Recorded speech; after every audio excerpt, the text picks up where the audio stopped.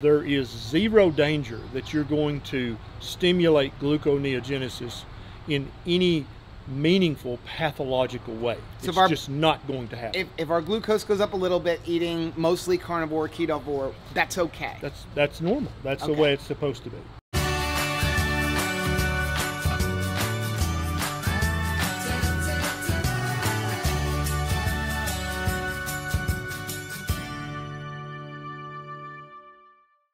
I'm Rachel. And I'm Joe. And we are Two Crazy Ketos. And if you're new to our channel, welcome. Here on Two Crazy Ketos, we do different things like recipe videos and we do product reviews. We talk about various keto topics. And then every Monday, we sit down on the couch for Keto on the Couch. We just kind of talk about what's going on in our lives for the week. You can find us on different social media platforms like Facebook, Instagram, and Twitter. And we have a website, which is twocrazyketos.com. And that's where you're going to find all of our different recipes. Now, we do upload at least five new videos every single week. So make sure to subscribe to our channel. And don't forget to hit the little bell icon, and that way, every single time we upload a new video, you'll be alerted to We've it. done this intro so many times today, I'm getting a little tongue tied. Yeah. when you say subscribe, blah, blah, blah. So Dr. Berry's right over there.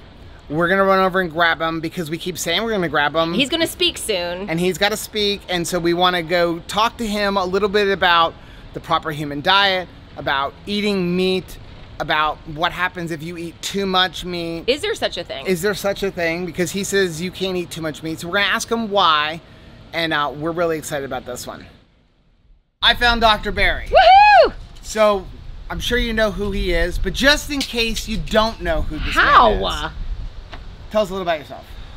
Ken Berry, family physician, been practicing for a couple of decades, taking good care of good people, and uh, now I I travel the world Really? Yeah. uh, talking about the proper human diet and all the benefits it can have for you. So why did you start doing all this? Well, I, I, I wanted to be a real doctor, and I think a real doctor makes house calls. I think a real doctor does what patients need them to do. Okay. Well, I I mean I read your book, Lies My Doctor Told Me. Game and if changer. you haven't, links down below. Because that book changed my life. I said that book to my mother, my mother was like, Yes, yes, yes, yes. Nice. Like like I no, I, I didn't get any nutrition like information in medical school. Graduated in 1967. I mean, she's like, yeah, they don't teach you any of this Yep. stuff. true. true. So- sad but true. It's so you're you're out here changing people's lives, trying to help them benefit their health. Now you talk about the proper foods to eat because people are doing keto and they're eating lots of keto mm. snacks and keto products and and there's some I've indulged in a couple, Sure. right? Yeah. You know, sometimes you just want to have a little milkshake or something like that. Sure. Yeah. But there's essential foods that we need. Yeah. What are yeah. The majority of your food intake on a daily basis. Okay. not counting birthdays and anniversaries. You get to get to be silly on your birthday and anniversary, right? Okay. But on a daily basis, you need to eat food that's nutrient dense, that's ancestrally appropriate, hmm and invariably any meal that's part of a proper human diet is going to contain meat. It's going to contain eggs. It's going to contain seafood. It's going to con- uh, contain poultry, red meat, ruminant animals. That that is what human beings cut their teeth on hmm since our beginning on this planet. And for the, the common fad today to be that well we should eat a plant-based diet, it's it's ridiculous. Mhm. To just be blunt, it's foolish because the, never in our history as a species have we eaten plant-based unless we're starving. Right. So let's be clear about this. There, there are two strategies to eating. If you're on the verge of starvation, you should eat plant-based. Uh-huh. You should eat that grass. Right. You should eat her shoe. Okay. If you're starving to death, you should eat whatever you can stuff in your face. Okay. But if what you're trying to do is optimize your health, hmm reverse chronic disease, right? Improve your your your stamina, the flexibility of your joints. If you're if that's your goal, then you need to only put optimal proper human foods in your mouth. And that's always going to be some cut of fatty meat from some animal or eggs Okay. and, and plus or minus some veg, some plants. You can have some plants. I'm not anti-plant, but to say that the majority of our diet should be plant-based is is foolish. So let's dispel a couple myths. We promote eating a one-to-one fat to or protein to energy diet. So protein, fat, maybe a little bit of 10, 20 total carbs. Yeah. You promote eat until you're comfortably full. Yeah. Certain foods one or two times a day. It's the same thing. A ribeye is one to one. Yep.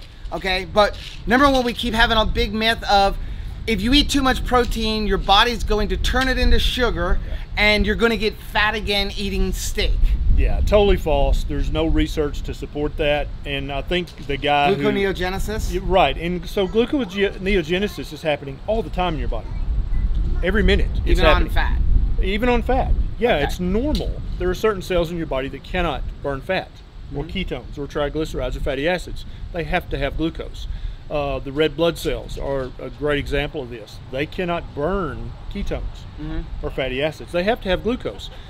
Your liver is happy to make that glucose. That's its one of its many many jobs, and so it does that continuously. Now, so that's why I did a 72 hour fast Yep. Mm-hmm. with a CGM.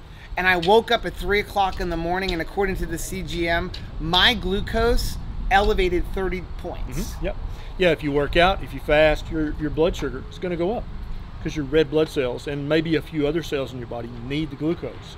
It's perfectly normal, perfectly natural. I sound like the dad from American Pie. It's a normal, natural thing.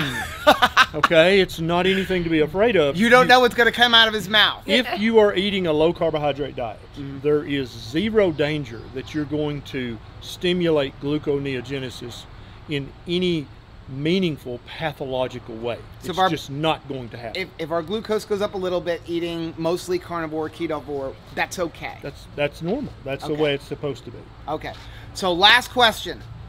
There's a fad going around protein sparing modified fast. We want to go another way. Yep. And you have a thousand dollar challenge. Yeah. So what is the thousand dollar challenge? Yeah, I, I challenge anybody uh, for 90 days. If you you can eat as much beef, b- bacon, butter, and eggs as you want.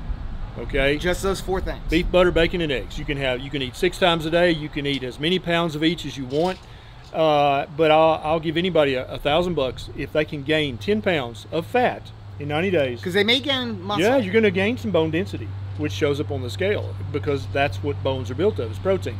You're going to gain some muscle. You're going to gain some fascia some uh, cartilage some tendon strength. All that stuff's going to get better. That's going to show up on the scale. But if you can gain 10 pounds of fat as verified by a DEXA scan, Okay. then I'll, I'll give you a thousand bucks. Well- because I've yet to see anybody be able to do it. We're not going to take you up on the thousand dollar challenge, but we, because people keep saying like you can't eat all this, what we're going to do is next month we're going to do 30 days of beef, butter, bacon, and eggs. yes. And we're gonna measure ourselves and we're gonna see what's gonna go on and we're gonna show people that you can eat beef butter bacon and eggs as much as you want as much as you want you Yep. don't have to do protein sparing modified fast which we just got talking to marie emmerich if you're doing that five days a week you're not doing it properly and stop it please please don't do that five days a week so we're gonna eat beef butter bacon and eggs as much as we want for 30 days and we're gonna let it. you know yep what happens I love it I Okay. can't wait to see the results because I think you'll be pleased I, I, I'm excited about that. Yeah, so. me too. As this is Dr. Berry. Make sure you're following him. You're not really on Facebook anymore, right? Yeah, we're, we're still, still there. doing we're Facebook? still there. We do a But live every Monday night Okay. on Facebook and YouTube. Join Uh, his Patreon. Yeah, Incredible stuff. You get advanced video.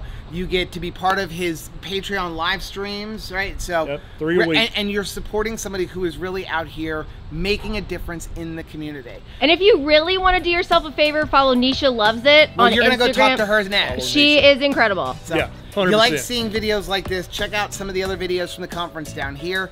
If you want to see our most recent video, go over there, but make sure you're subscribing to our channel right here and also hit the bell button so that you're notified every time we upload a new video. Because sometimes we talk to Dr. Berry. Eat your meat.